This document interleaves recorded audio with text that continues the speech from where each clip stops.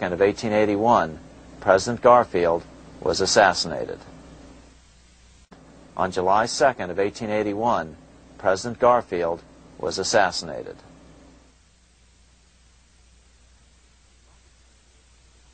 The money changers were gathering strength fast. They began a periodic fleecing of the flock, as they called it, by creating economic booms followed by further depressions so they could buy up thousands of homes and farms for pennies on the dollar. In 1891, the money changers prepared to take the American economy down again, and their methods and motives were laid out with shocking clarity in a memo sent out by the American Bankers Association, the ABA, an organization in which most bankers were members. Notice that this memo called for bankers to create a depression on a certain date three years in the future. According to the congressional record, here's how it read in part. On September 1st, 1894, we will not renew our loans under any consideration. On September 1st, we will demand our money. We will foreclose and become mortgagees in possession. We can take two-thirds of the farms west of the Mississippi and thousands of them east of the Mississippi as well at our price. Then the farmers will become tenants, as in England. These depressions could be controlled because America was on the gold money standard. Since gold is scarce, it's one of the easiest commodities to manipulate. People wanted silver money legalized again so they could escape the stranglehold the money changers had on gold money. People wanted silver money reinstated, reversing Mr. Seyd's Act of 1873, by then called the Crime of 73. By 1896, the issue of more silver money had become the central issue in the presidential campaign. William Jennings Bryan, a senator from Nebraska, ran for president as a Democrat on the free silver issue. At the Democratic National Convention in Chicago, he made an emotional speech which won him the nomination entitled Crown of Thorns and Cross of Gold. Though Bryan was only 36 years old at the time, this speech is widely regarded as the most famous oration ever made before a political convention. In the dramatic conclusion, Bryan said, We will answer their demand for a gold standard by saying to them, You shall not press down upon the brow of labor this crown of thorns, you shall not crucify mankind upon a cross of gold. The bankers lavishly supported the Republican candidate, William McKinley, who favored the gold standard. The resulting contest was amongst the most fiercely contested presidential races in American history. Bryan made over 600 speeches in 27 states. The McKinley campaign got manufacturers and industrialists to inform their employees that if Bryan were elected, all factories and plants would close and there would be no work. The ruse succeeded. McKinley beat Bryan by a small margin. Bryan ran for president again in 1900 and in 1908, but fell short each time. During the 1912 Democratic Convention, Bryan was a powerful figure who helped Woodrow Wilson win the nomination. When Wilson became president, he appointed Bryan as Secretary of State, but Bryan soon became disenchanted with the Wilson administration.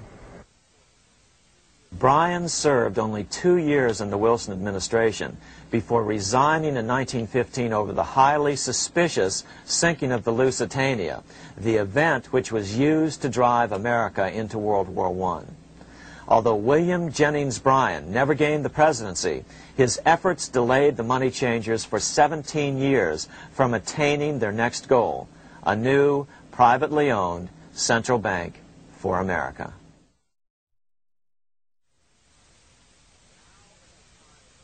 Now it was time for the money changers to get back to the business of a new private central bank for America.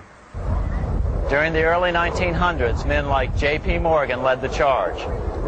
One final panic would be necessary to focus the nation's attention on the supposed need for a central bank. The rationale was that only a central bank can prevent bank failures. Morgan was clearly the most powerful banker in America and a suspected agent for the Rothschilds. Morgan had helped finance John D. Rockefeller's Standard Oil empire. He had also helped finance the monopolies of Edward Harriman in railroads, of Andrew Carnegie in steel, and of others in numerous industries. But on top of that, J.P. Morgan's father, Junius Morgan, had been America's financial agent to the British. After his father's death, J.P. Morgan took on a British partner, Edward Grenfell, a longtime director of the Bank of England. In fact, upon Morgan's death, his estate contained only a few million dollars. The bulk of the securities most people thought he owned were in fact owned by others. In 1902, President Theodore Roosevelt allegedly went after Morgan and his friends by using the Sherman Antitrust Act to try to break up their industrial monopolies. Actually, Roosevelt did very little to interfere in the growing monopolization of American industry by the bankers and their surrogates.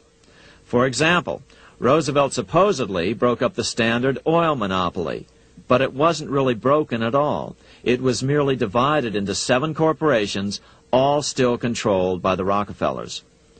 The public was aware of this thanks to political cartoonists like Thomas Nast, who referred to the bankers as the money trust. By 1907, the year after Teddy Roosevelt's reelection, Morgan decided it was time to try for a central bank again.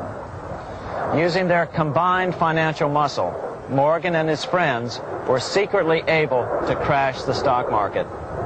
Thousands of small banks were vastly overextended. Some had reserves of less than 1% thanks to the fractional reserve principle. Within days, bank runs were commonplace across the nation. Now Morgan stepped into the public arena and offered to prop up the faltering American economy by supporting failing banks with money he manufactured out of nothing. It was an outrageous proposal, far worse than even fractional reserve banking, but Congress let him do it. Morgan manufactured $200 million worth of this completely reserveless private money and bought things with it, paid for services with it, and sent some of it to his branch banks to lend out at interest. His plan worked. Soon, the public regained confidence in money in general and quit hoarding their currency. But as a result, banking power was further consolidated into the hands of a few large banks. By 1908, the panic was over, and Morgan was hailed as a hero by the president of Princeton University, a man by the name of Woodrow Wilson. All this trouble could be averted if we appointed a committee of six or seven public-spirited men like J.P. Morgan to handle the affairs of our country. Economics textbooks would later explain that the creation of the Federal Reserve System was the direct result of the panic of 1907. Quote, with its alarming epidemic of bank failures, the country was fed up once and for all with the anarchy of unstable private banking, close quote. But Minnesota Congressman Charles A. Lindbergh Sr., the father of the famous aviator Lucky Lindy, later explained that the panic of 1907 was really just a scam.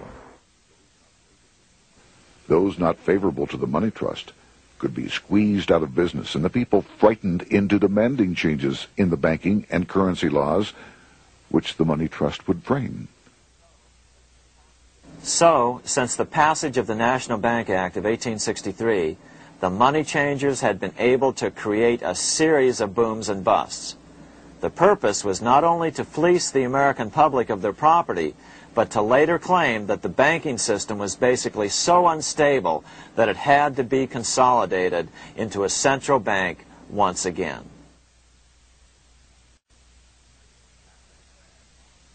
After the crash, Teddy Roosevelt, in response to the panic of 1907, signed into law a bill creating something called the National Monetary Commission.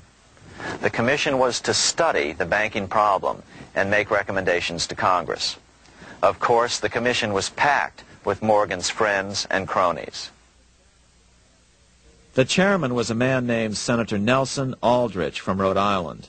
Aldrich represented the Newport, Rhode Island homes of America's richest banking families. His daughter married John D. Rockefeller Jr., and together they had five sons. John, Nelson, who would become vice president in 1974, Lawrence, Winthrop, and David, the head of the Council on Foreign Relations and former chairman of Chase Manhattan Bank. As soon as the National Monetary Commission was set up, Senator Aldrich immediately embarked on a two-year tour of Europe, where he consulted at length with the private central bankers in England, France, and Germany. The total cost of his trip alone to the taxpayers was $300,000, an astronomical sum in those days. Shortly after his return, on the evening of November 22, 1910, some of the wealthiest and most powerful men in America boarded Senator Aldrich's private rail car and in the strictest secrecy journeyed to this place, Jekyll Island, off the coast of Georgia. With the group came Paul Warburg.